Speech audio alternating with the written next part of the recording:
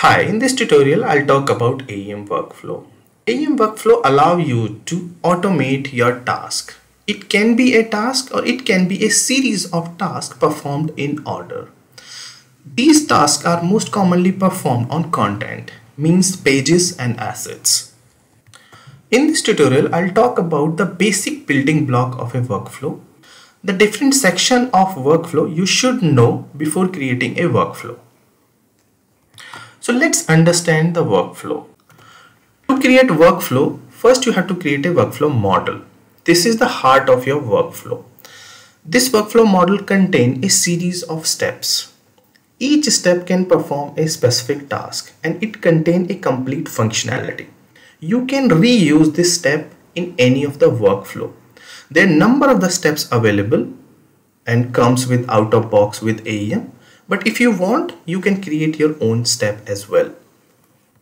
If you have a series of tasks, you can achieve that using these steps, using the one step or a combination of steps. Once you create this model, this model is stored at two places in your repository. One is design, which is stored at conf folder. Basically, this is the design.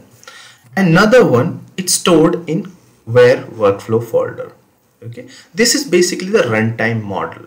So first one contain design and second one contain a runtime model. When your workflow execute this runtime model is used. Now let's talk about these steps. These steps are of four kind mainly four type.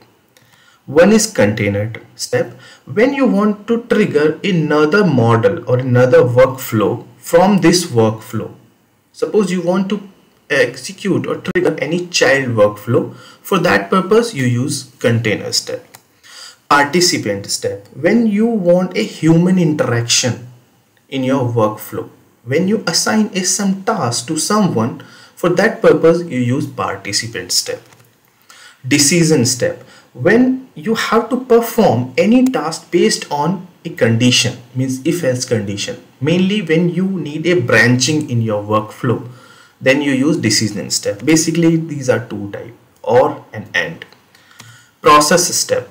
If you have ever know about workflow and if you ever uh, go to any interview everyone ask about the custom process custom workflow process. So these custom workflow processes are used using the process step we have n number of the process. So if you write your own custom process so you will be using that process using this process step. So once you created this model you should call this model right? So there's mainly three ways. The other ways as well but I'll discuss these main three ways. One is launcher. When you want to automate the trigger of this workflow then you create a launcher for example, suppose you want to perform some task based on the page creation to that page. So you create a launcher and define a condition there. We'll see that in detail. Like whenever the page create some task to be performed.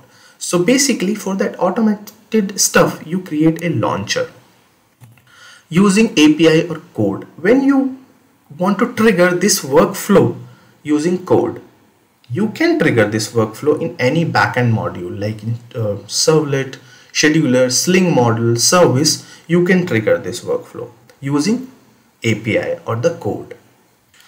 Third one is most simple part is manual. So you have a console means you in AEM, you can trigger this workflow manually.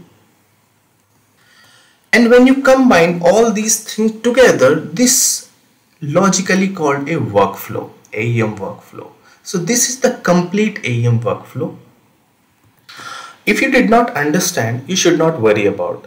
So I'll cover each and every section of this workflow in a separate tutorial. So I'll cover all the basics of workflow in 5 to 6 tutorial. So once these tutorials are over, you will have all the understanding of workflow.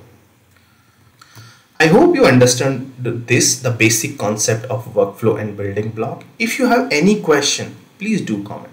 Thank you.